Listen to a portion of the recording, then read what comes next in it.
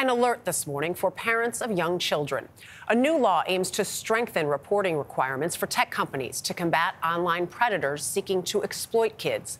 Last year, the National Center for Missing and Exploited Children received more than 36 million reports of suspected child sexual exploitation to its cyber tip line.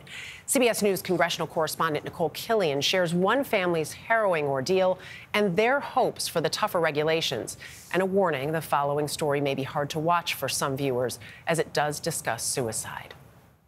It starts off kind of innocent. How are you, you know, how you doing? Where do you go to school? What are your interests? What began as a seemingly innocuous encounter on Instagram quickly turned deadly for John DeMay's 17-year-old son, Jordan. Told him he was going to kill himself, and the the perpetrator said, "Good, you better do it faster. We're going to make you do it." And then at 3:45, uh, Jordan shot himself in his bedroom. Jordan was the victim of a sextortion crime. His father said Jordan was solicited by a man posing as a woman who asked him to send compromising photos. Then Jordan was ordered to pay up so the pictures wouldn't get out.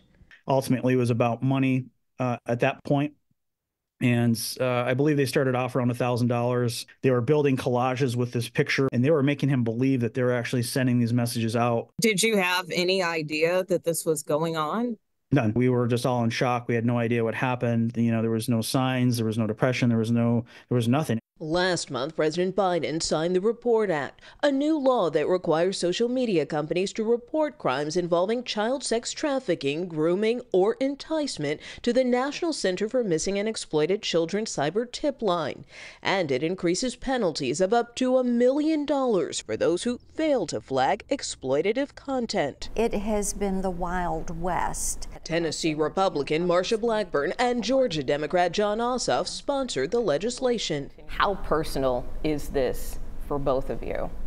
Look, I've got a two year old baby girl at home, and it is every parent's worst nightmare. And we've got to improve the safety. We have to hold the tech companies accountable to make them safe for children. You cannot sell alcohol to a child. You can't sell them a pornographic magazine. You can't take them to a strip show. If you did, law enforcement would come in, they would padlock your business, they would haul you down to the police station, they would book you, and you would be fined. And but there's been nothing in the virtual space. You didn't take any true, action. Senator. You didn't fire anybody. You haven't that's compensated a single not, victim. The law is the first to be enacted since a blockbuster Senate hearing this year on online child exploitation with tech CEOs, including Meta's Mark Zuckerberg, who issued a rare apology to families. Would you like to apologize for what you've done to these good people? I, I, I, John was there and believes the new law is a first step.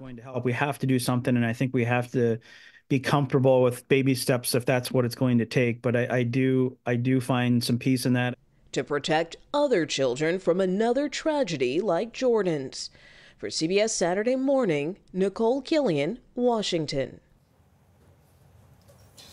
So bipartisan interview there, and I think everybody can agree that we need to protect kids the best yeah. way we can and figure out is it's still a new space. Keep in mind how new, relatively speaking, social media is. I think for a lot of people, it's not understanding how someone can get in to someone's head to get them to do some of the things right. that these children um, expose themselves to, offer up uh, and I think that's the key, helping kids understand how they can be tricked. But it's happened so often, the so stories often. that we hear about that you can't say anymore, well, it's just this child, or maybe there.